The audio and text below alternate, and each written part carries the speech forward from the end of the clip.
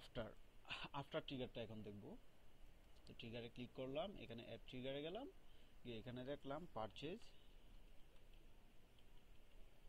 Purchase update after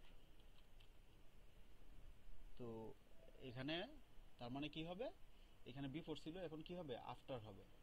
after কি হবে? Update হবে। যেহেতু আপডেট করতেছি, তারপর বিগিন হবে। বিগিন আপডেট কোন টেবিলে হবে? প্রোডাক্ট টেবিলে হবে। সেট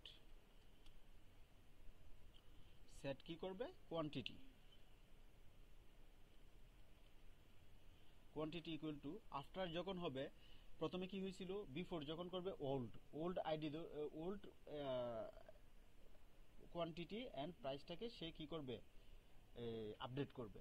আর যখন আফটার হবে, তখন সে কি করবে? নিউ নিউ কোয়ান্টিটি এবং নতুন যে ডাটাটা পাবে, ওই ডাটাটাকে সে কি করবে? আপডেট করবে। তো নিউ কোয়ান্টিটি প্লাস যখন নতুন ডাটাটা পাবে, তখন এটা কি করবে? যখন পারচেজ করবে, তখন এটা যোগ করে দিবে। আপডেটটা কি করবে? প্রোডাক্ট টেবিলে যোগ করবে। আর ওল্ড যখন আপডেট করবে, তখন মাইনাস করবে।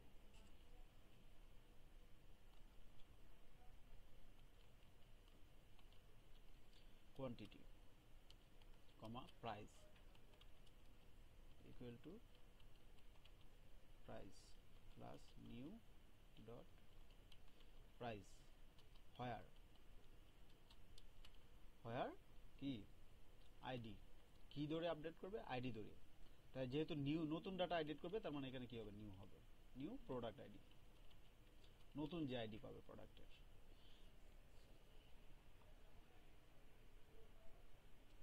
ঠিক আছে? তো এন্ড করে এন্ড দেই নাই এন্ড দিতে হবে।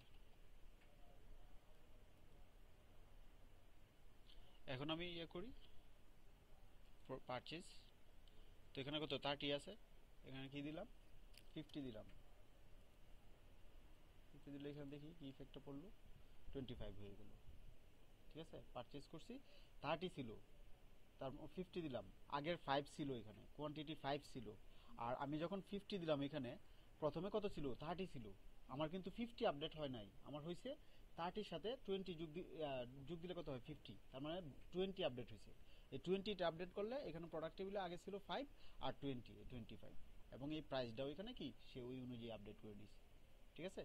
এটা হলো প্রোডাক্ট আফটার আপডেট এরপর আমরা দেখব কীভাবে আমরা প্রোডাক্ট টেবিল পারচেস টেবিলে ডিলিট করলে কীভাবে প্রোডাক্ট টেবিল থেকে এই ওই পরিমাণ কোয়ান্টিটি এবং প্রাইস ডিলিট হয়